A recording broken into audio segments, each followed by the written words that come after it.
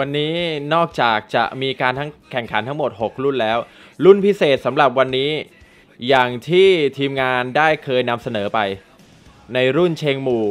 โอเพน2จังหวะ วันนี้นะครับท่านผู้ชมเราจะมาชม เราจะมาเชียร์กันว่า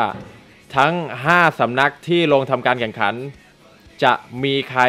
ได้แชมป์จะมีใครดีที่สุด บอกไว้แล้วนะฮะ ซ้อมไม่นับ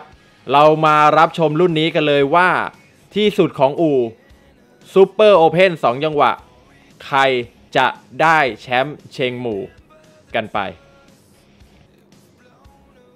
แล้วต่อจากรุ่นนี้พลาดไม่ได้เลยท่านผู้ชม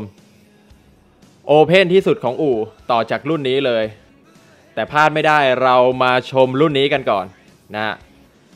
รู้สึกว่าวันนี้จะมีรถบาย หรือว่ารถที่ไม่พร้อมทำการแข่งขันเนี่ยค่อนข้างที่จะหลายอู่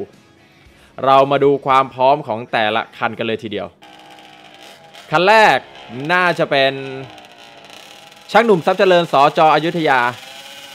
เจมส์โคราชขี่ นี่ถือว่าเป็นรุ่นเชงในระยะทาง 402 เมตร รถคันหนึ่งวิ่งได้ 2 รอบนะครับท่านผู้ชมเอาเวลาดีที่สุด ใครเวลาดีที่สุด รับกิน ออกไปแล้วสำหรับเจมส์โคราช10.498 ถือว่าเปิดหัวได้ดีทีเดียว ดูแท็กชั่นการออกตัวครับแหมเสื้อเทานี่หล่อนะหล่อหล่อผูกจุกนี่หล่อเลยนะ เอาจริงเอาจังมากฮะการทำหน้าที่ในสนามนะติดตามได้นะ ขอบคุณตากล้องเรซิ่งด้วยนะ แล้วคันต่อมารู้สึก เดี๋ยวขอดูชัดๆก่อนอ๋อน่าจะเป็นเจ้าบอลฮะนักขี่นักแข่งมือใหม่ช่างหนุ่มทรัพย์เจริญสอจอยุทธยา ถือว่าได้เปรียบฮะรุ่นนี้ช่างน้ำหนัก 95 กิโลกรัมนะเรามาดูกันว่า เจ้าบอลจะทำลายสถิติ 10.498 ของเจมส์โคราชเพื่อร่วมทีมได้หรือเปล่า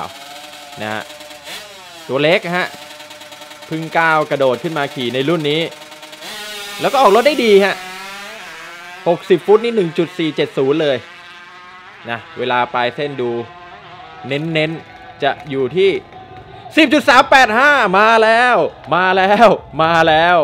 ถือว่าเร็วเลยทีเดียวฮะ ถือว่าเร็วเร็วมากเลยนะสำหรับรุ่นนี้ โอ้โห แล้วรู้สึกว่าจะเป็นหัวเดิมด้วยนะฮะ รุ่นนี้อนุญาตให้ใส่หัวโตได้คำว่าหัวโตในที่นี้น่าจะ เป็นเสื้อสูบที่ไม่ตรงรุ่นก็ได้นะฮะ เป็นเสื้อสูบ NSR ก็ได้ เสื้อเสื้อสูบ TZR ก็ได้ มาเลยฮะ กับรถ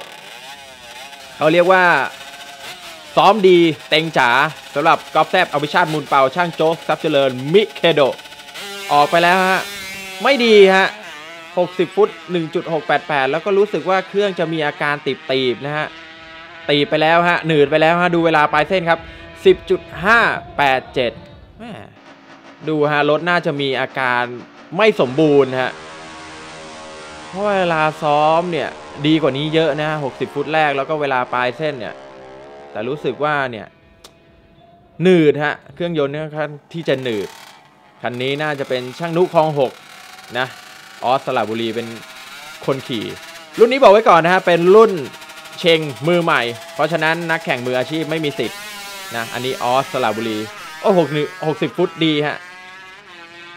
หนึ่งจุดห้าแปดเจ็ดดูเวลาปลายเส้น เวลาปลายเส้น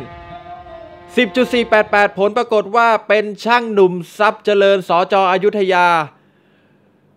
ได้รับแชมป์รุ่นนี้ไปด้วยเวลา 10.385 ครับท่านผู้ชม ถือว่าเป็นแชมป์เชงหมู่ที่สุดของปีในสนามนี้ ขอเสียงตบมือเลย